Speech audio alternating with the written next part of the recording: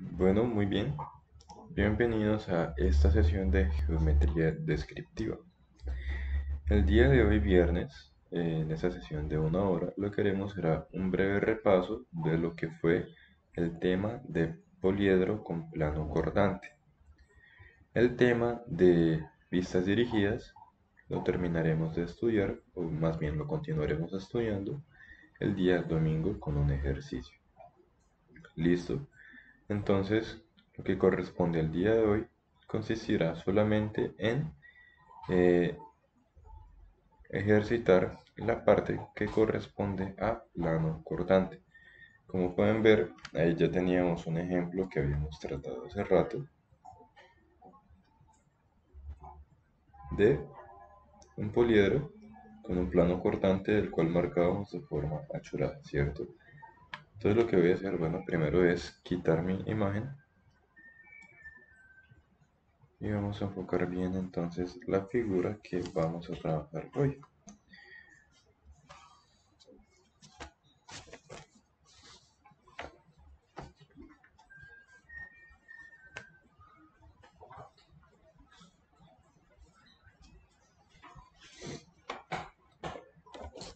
Muy bien, ahí la tenemos, ¿cierto? Entonces voy a arreglar la luz para que se vea mucho mejor. Entonces,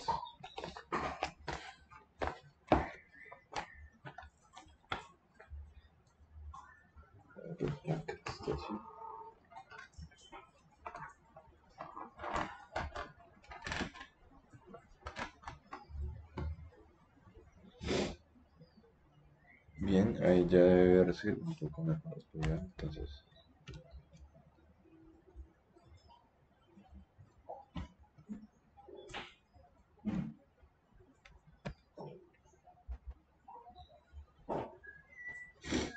bien.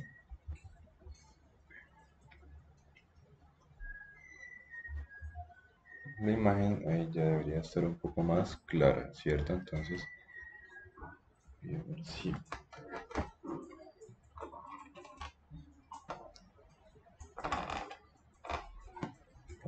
ahí ya creo que se ve mucho mejor. Entonces ahí vemos ese poliedro y vemos entonces que está conformado por ese bueno, es un punto 3, un punto 1, 2, 3, 4, 5, 6, 7, 8, 9, ¿cierto? Y 10 que está el fondo encerrado para indicar que precisamente está atrás y abajo de la figura, ¿cierto? Lado izquierdo, por acá, en la parte de abajo, ¿cierto? Por acá, y que está atrás, bueno, por acá. Por ahí está entonces ese punto 10. Ahora lo queremos, acá tenemos las vistas principales y lo que queremos será entonces eh, ubicar un plano cortante con respecto al cual vamos a ver cómo queda esa figura, ¿cierto? Eh, anteriormente habíamos hecho un plano vertical desviado. En este caso,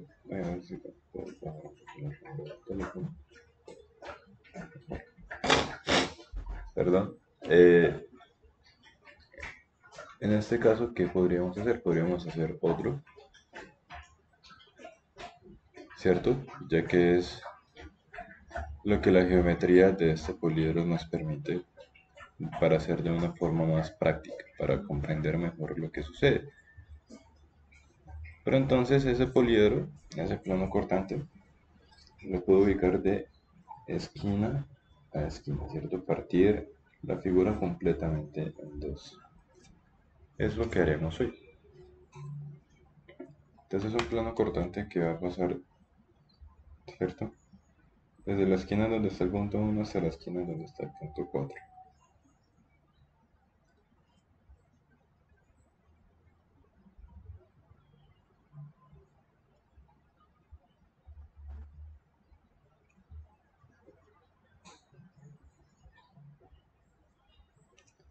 Ahí está.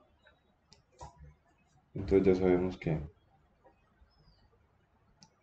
acá hay un punto de corte, ¿cierto? Mirando eh, por donde ese plano que está como filo me corta o me intercepta las aristas de ese polígono. ¿Cierto? Entonces acá fíjense que pasa algo interesante. Ese plano cortante está atravesando justo por donde hay un vértice del polígono, un punto 1. ¿Cierto? Por acá, por acá por acá. Entonces lo que haremos no será, bueno, y vemos que el poliedro está nombrado por números. Bueno, los vértices tienen números y no letras como los que hemos trabajado anteriormente. Quiere decir que el plano cortante, los puntos de corte, le vamos a poner eh, letras. Sin embargo, acá y acá están siendo atravesados o están cortando más bien eh, directamente ese número, ¿cierto? Por lo tanto, lo que haremos será, eh, bueno, primero que todo, ubicar ese plano cortante y ya veremos qué hacemos con esos puntos. Entonces, si nosotros volvemos acá a nuestra vista isométrica, ¿cierto? Entonces es cuestión de trazar esto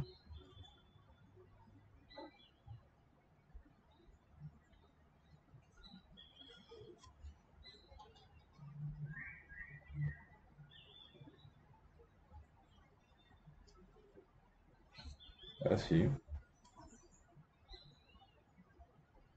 cierto esa, esa línea en la vista superior. Y vamos a ver si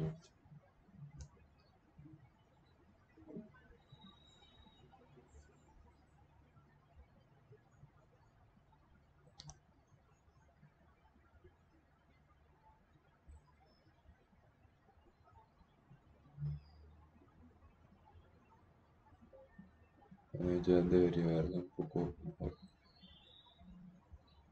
Cierto. Entonces bueno estamos ahí voy a revisar solo un poco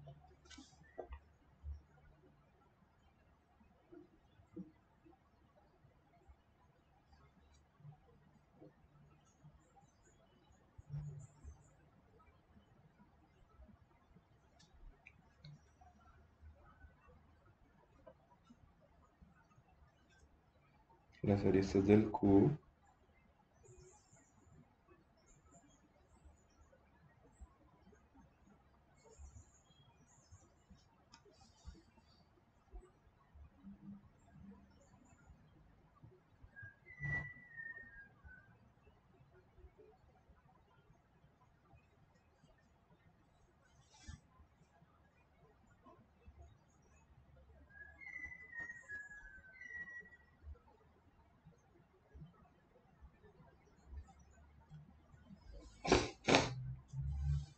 manteniendo el trazo pues suave solamente para que lo podamos apreciar en la imagen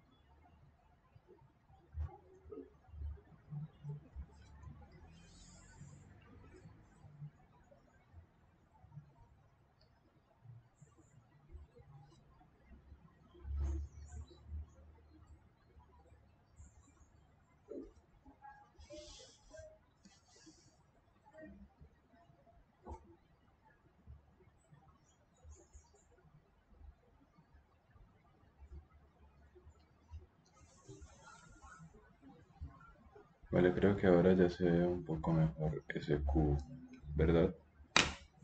Y terminar de trazarlo por acá.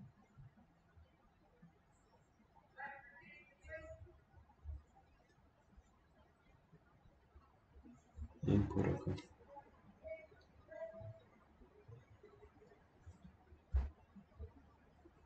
Bueno, ahora sí es verdad que ya se ve un poco mejor nuestro cubo.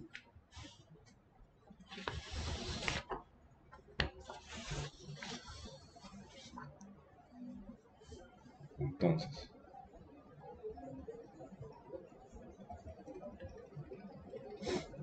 voy a, bueno, entonces voy a terminar de realizar por acá. Manteniéndolo suave, pero un poco más repisado.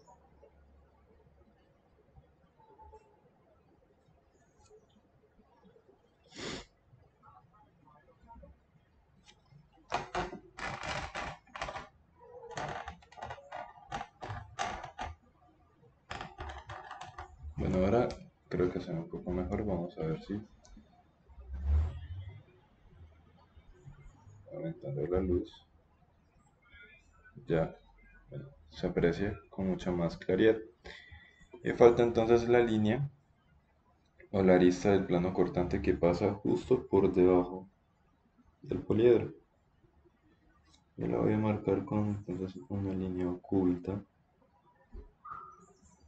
para que se entienda que esta es por debajo de la figura.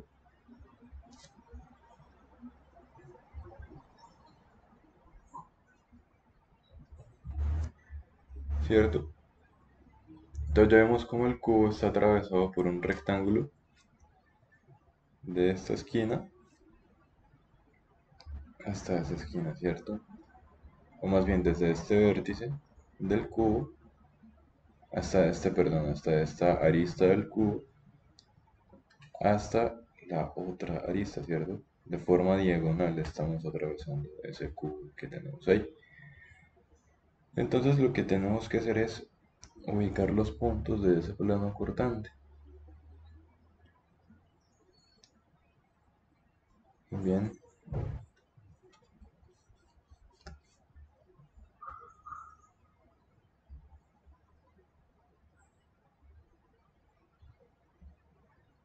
podemos hacerlo. Entonces de la siguiente manera.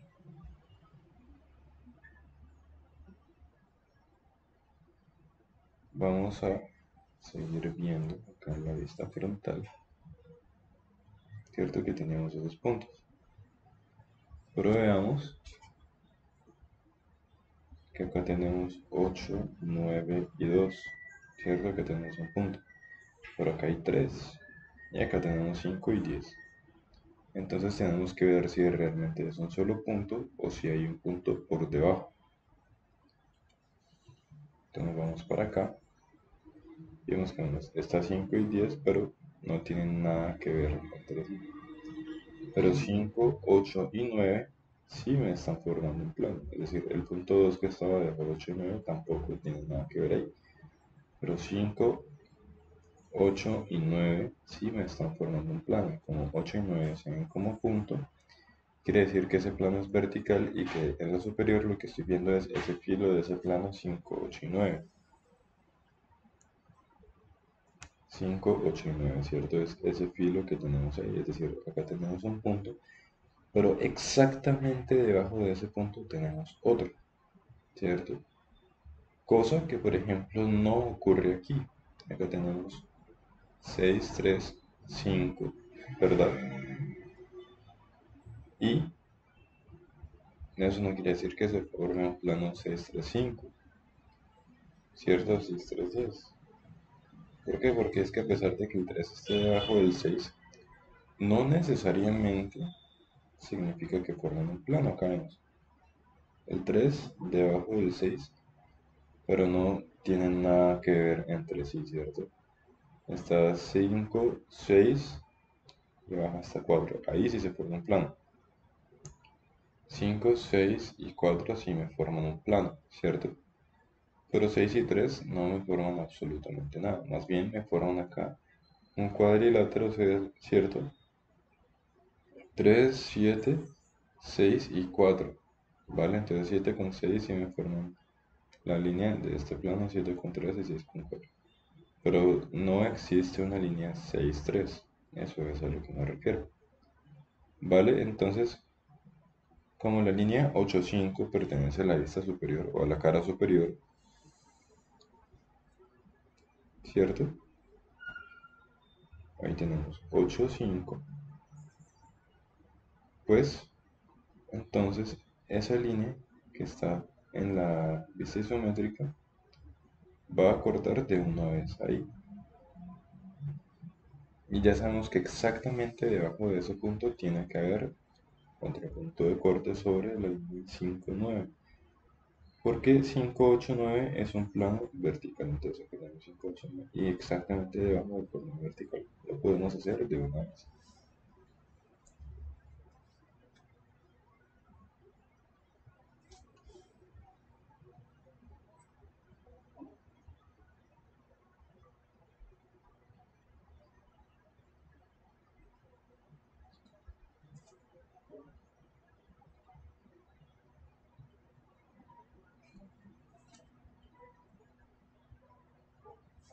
Ahí está, ¿cierto? Y el siguiente punto sería entonces por acá entre 5 y 6. ¿Cierto? Entonces,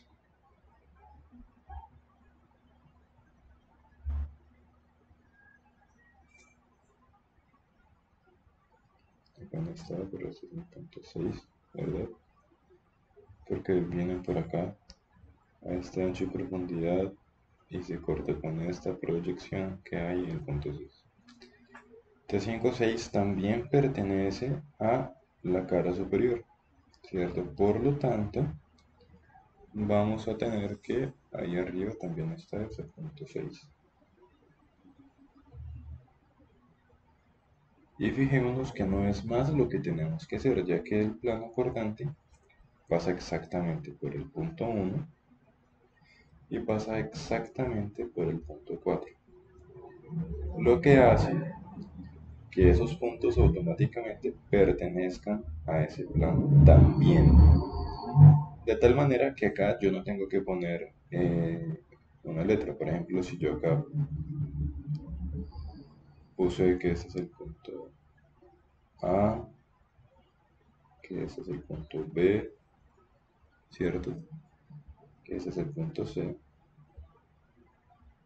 pues, bueno, sí son los puntos de corte, ¿cierto? Pero acá yo no pondría punto D, por ejemplo, porque ni uno D, ni borrar ni cambiarlo por la D, porque es que el 1 es el vértice del poliedro. Y simultáneamente ese punto 1 ahora también pertenece a ese plano cortante. Únicamente cuando el plano corta exactamente en ese punto, acá cortan dos, ¿cierto? Exactamente en esos dos. Pues como ese punto 1 ya pertenece al plano cortante, yo no le tengo que poner ninguna letra, simplemente ese punto 1 también es parte del plano cortante. Entonces, ya lo voy a tener de referencia, no tengo que poner otra cosa, ni quitarlo, ni nada, ¿vale? Entonces yo pongo que digamos 1D, que pues quedaría como si dos puntos diferentes separados entre sí. Si yo quito el punto 1 y pongo la D, pues entonces es como si ese vértice no estuviera, ¿cierto? Entonces eh, dejo el punto 1 denotando que eh, está haciendo parte tanto del poliedro, ¿cierto? Como vértice del poliedro y como eh, punto del plano cortante. Entonces ahora lo que queremos es unirlos de forma consecutiva. Este hasta acá, hasta acá, ¿cierto? Así. Y bajamos hasta el 4. Ese sería todo nuestro plano cortante. Como ven, este es un poco más sencillo que el que habíamos trabajado anteriormente. Entonces ahí unimos y vemos que hay un tramo que es visible, que es continuo.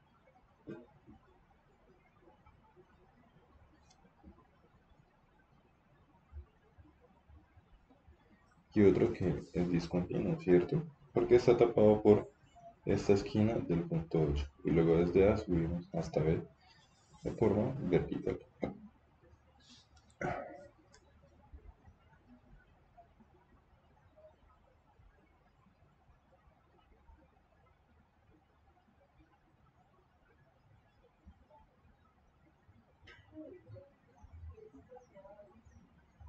Ahí lo tenemos.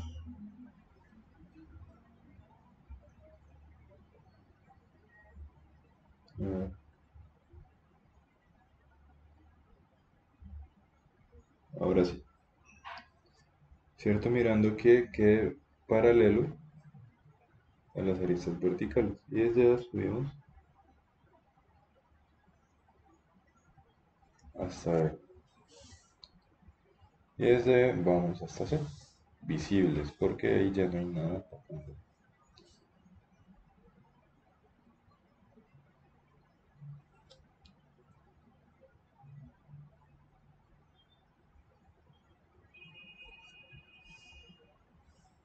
y desde C bajamos hasta 4 que es el otro punto de corte con el plano que también es un vértice del poliedro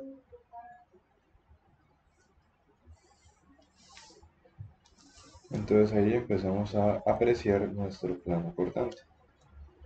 Y por supuesto la línea oculta que está por allá abajo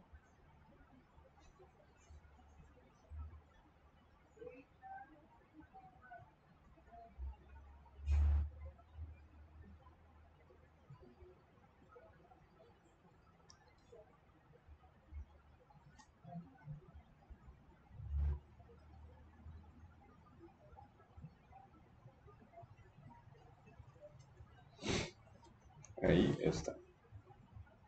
¿Listo? Entonces ahora recordemos que hay que achurar esas figuras. Entonces vamos a comenzar desde por acá. ¿Cierto? Recordando que debe ser a un ángulo de 45 grados.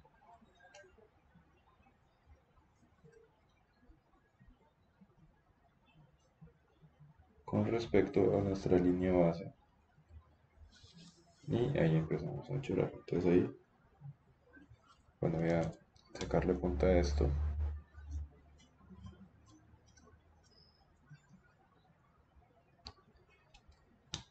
Empezamos a churar con un trazo suave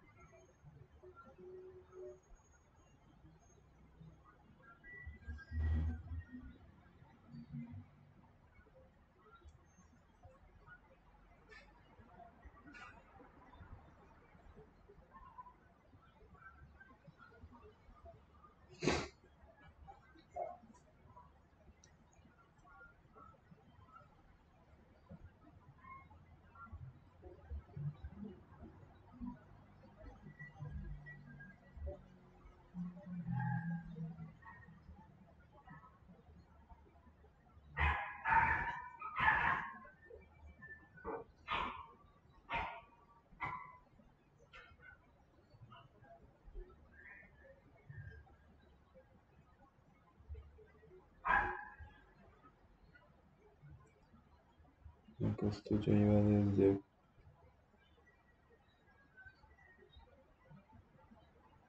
acá bueno acá fíjense que me equivoqué porque las líneas achuradas yo las está trazando con respecto a esa línea oculta y realmente iban a con esta línea visible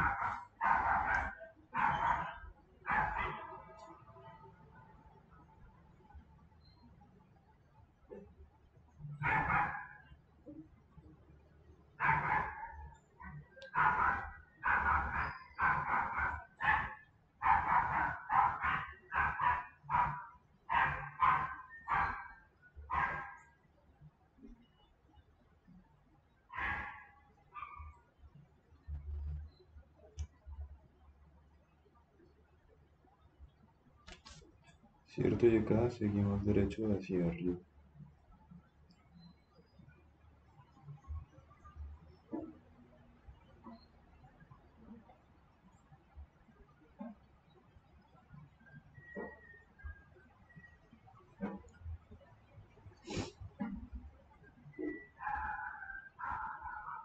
Esto sigue derecho hacia arriba.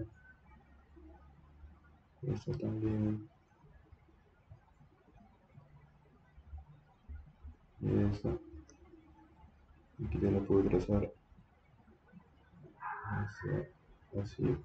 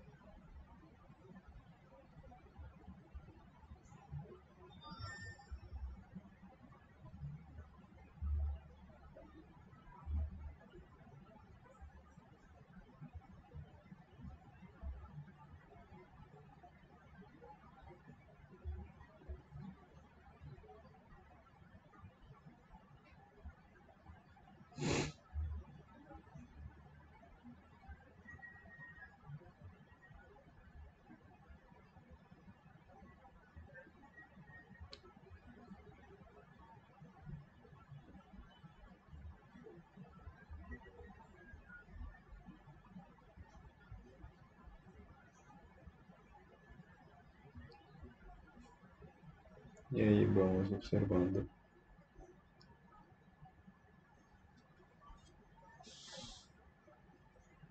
¿cierto? Ese plano de corte que se genera al atravesar pues ese plano cortante por el cubo que atraviesa entonces ese poliedro que tenemos ahí. Como pueden ver, el achurado sirve para observar con claridad el contorno, ¿cierto? O la figura o el perfil de ese plano cortante que tenemos ahí. ¿Listo? Es básicamente por eso que existe, porque lo trazamos. Eh, ahora, lo que tenemos que hacer es pasarlo a las vistas principales. Acá, bueno, voy a ver si puedo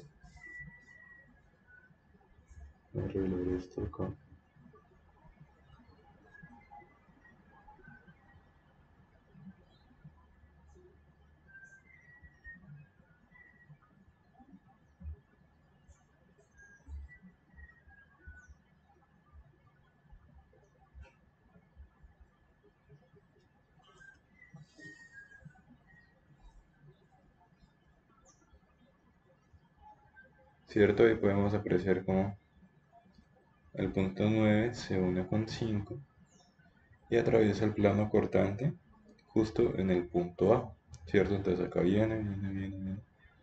Acá se ve un poquito menos visible y acá se ve un poquito más repisado.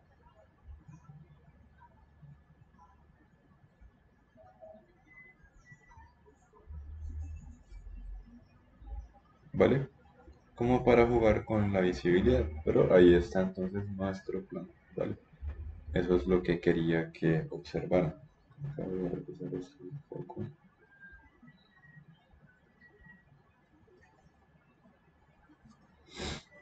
Ahí está entonces nuestro plano cortante en la vista isométrica y vamos a pasarlo ahora a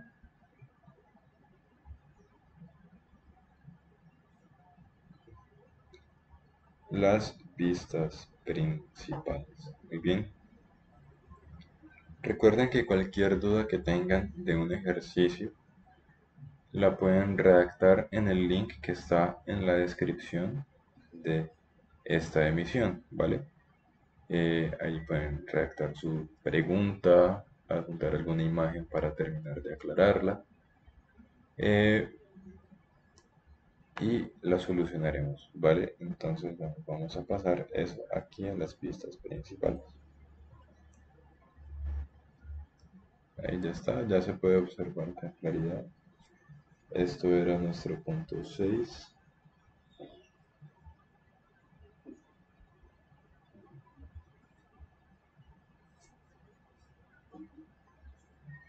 Que ahora ya no se va a ver.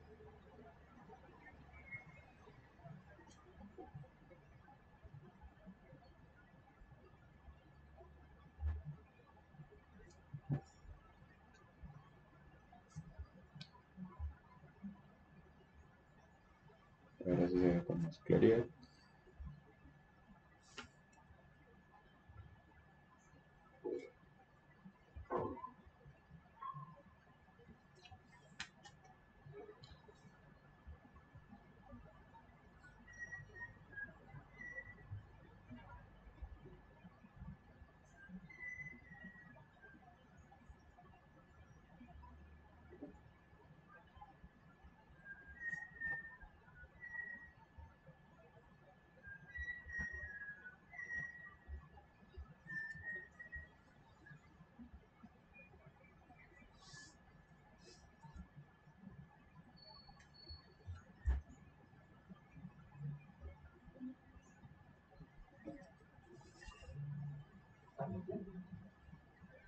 Ahí ya se un poco mejor, punto 6. Vamos a pasarlo entonces a las vistas principales. Que acá es bastante sencillo, ¿cierto? Ya que es pasar de este punto Bueno, vamos a ubicar los puntos. Este sería el punto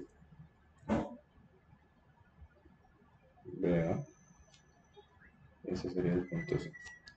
Recordemos que el punto 1 y 4 en este caso hacen parte también de ese plano cortante porque pasa precisamente por ahí.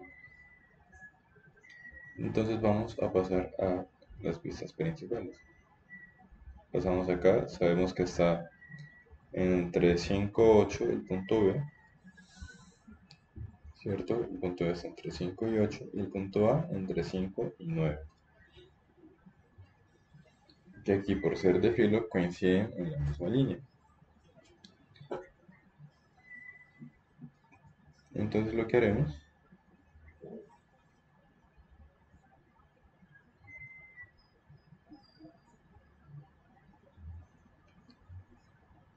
será bajar aquí este 5.8 y un poco más hasta 5.9 cierto entonces acá estaría el punto B. Por ahí estaría el punto A. Cierto que es este B y el punto C estaría entre 5 y 6 que estaría por acá entre 5 y 6 ahí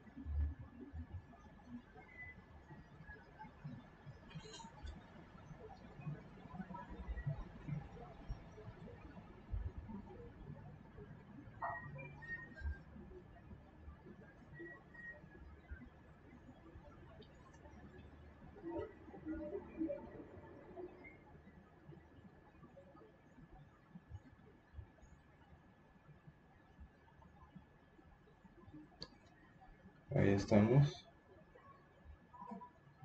Aquí estaría ese punto 6 ese punto 6 perdón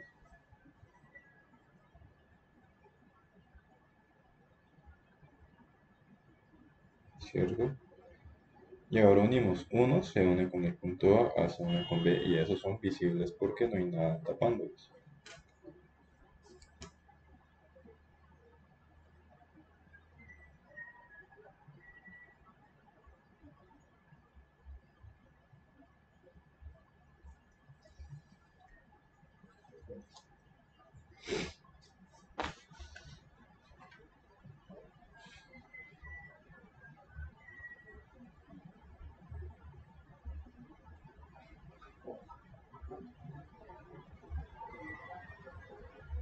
¿cierto? Luego B se une con C y C se une de forma oculta con 4 porque ya están en un plano lejos de la línea de referencia, es decir, ya está tapado por todas estas líneas.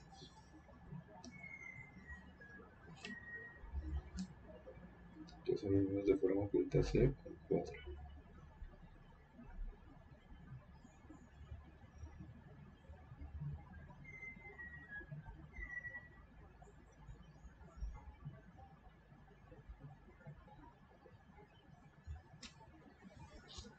¿Cierto? Y de nuevo aquí también achuramos formando un ángulo de 45 grados con la horizontal.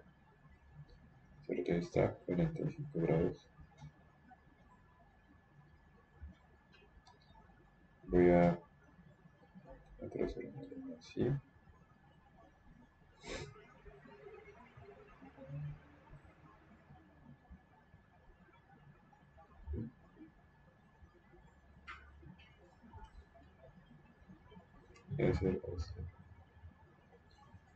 Y dejar señalado entonces que las líneas para achurar también van a 45 grados.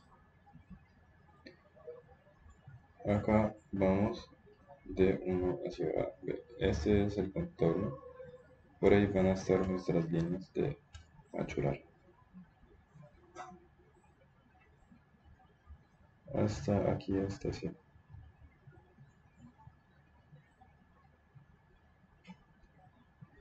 Vamos hacia abajo y luego hacemos las que faltan ahí hacia arriba.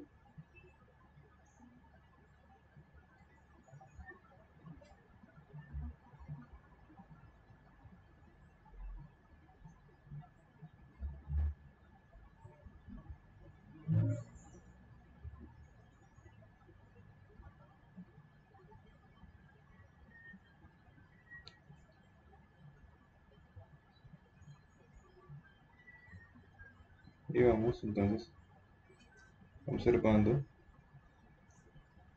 cómo se aprecia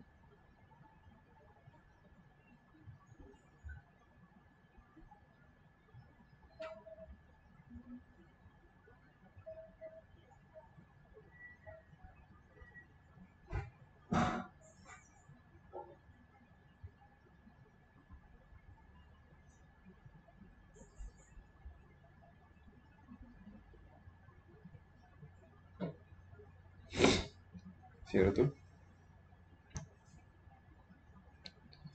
Ya ese ángulo de 45 grados, entonces vamos subiendo. Desde el punto B empezamos a achurar. Mirando que encaje esta línea que marca 45 grados con la horizontal de mi poliedro. Ahí ya puedo asegurar que esas líneas me están quedando a 45 grados.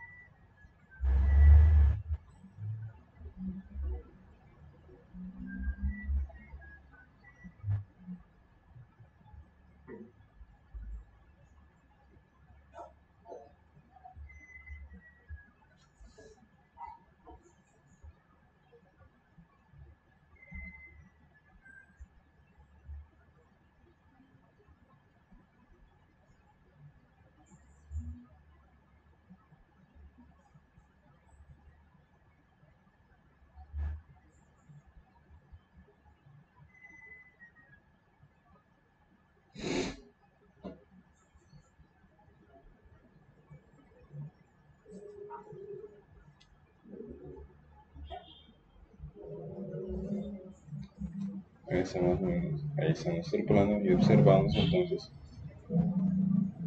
su punto vale. Y esto pues está visible porque sigue estando adelante de la figura.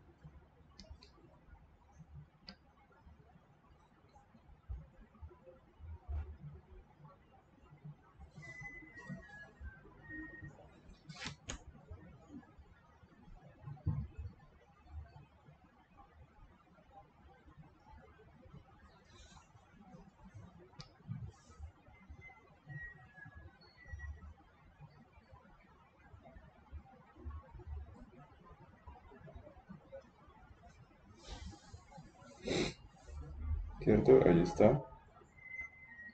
Y se observa con claridad. Voy a revisar esto entonces.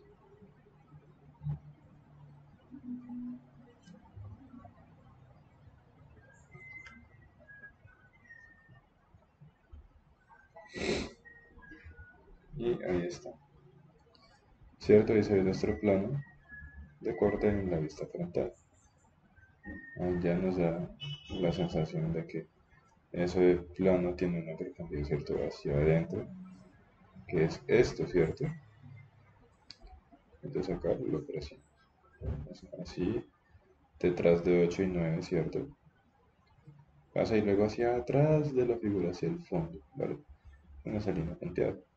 Y haremos lo mismo acá. Entonces el punto 1 ya sabemos. que queremos ahora proyectar el punto A y B. Entonces con proyectar el punto A exactamente encima, proyecto el punto B. El punto A está entre, entre 8 y 9, entre 5 y 9, perdón, es decir, en esta línea punteada.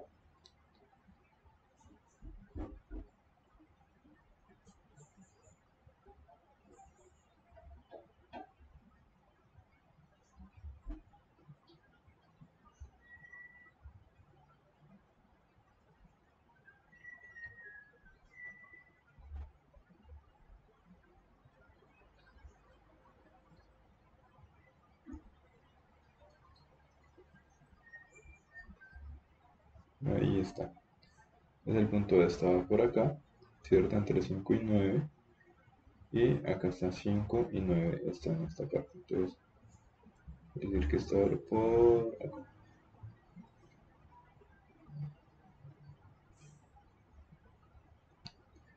A una profundidad muy cercana a la del punto 6 entonces probablemente el punto B nos quede al lado del punto bien pegado al punto 6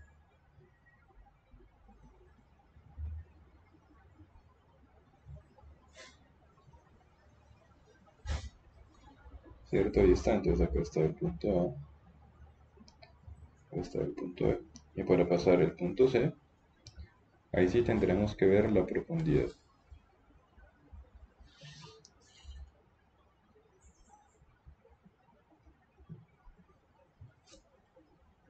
Vemos que está a 2.5 sobre 5,6. Y acá nos vamos paralelos. Ah, perdón. Y acá nos vamos a 2.5, ¿cierto? Desde la profundidad de 8. Debe quedar acá entre 5, entre 5 y 6.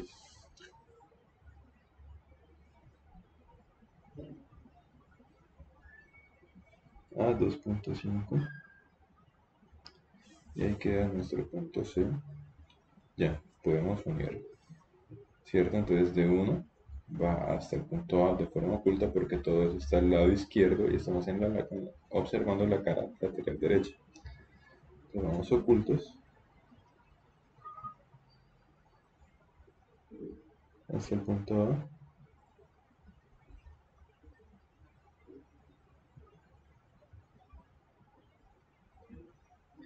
Del punto A hasta el punto B.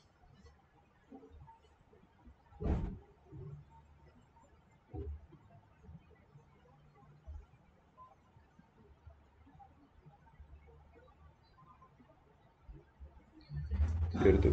Del el punto C y el punto C hasta 4.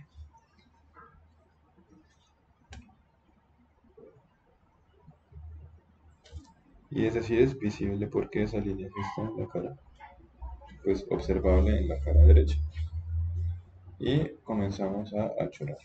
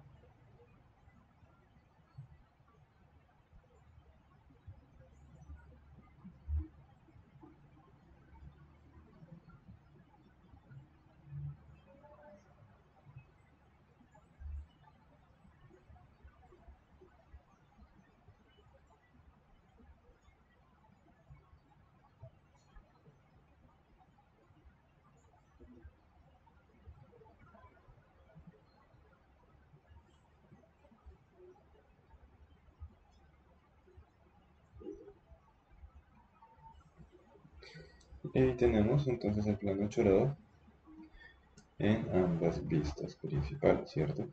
Tenemos como soy acá de 1 hasta la línea 5.9, de 1 hasta la línea 5.9, pero del otro lado subimos, pasamos de B hasta C y ese pasamos hasta 4, ¿cierto? Que está oculto porque es atrás. Por acá, como estamos en una vista de lateral, podemos ver la profundidad y la cara derecha, entonces la cara lateral, entonces acá podemos ver la parte de atrás y adelante simultáneamente, ¿cierto? Entonces ahí por eso está visible. Acá esto sería visible también, con acá sería conjunto y eso sería visible, ¿cierto? Y ahí entonces obtendríamos nuestro plano cortante en ese poliedro. Lo queremos, la sesión del domingo será eh, trabajar entonces las vistas dirigidas de ese poliedro. Entonces podemos dejar hasta aquí.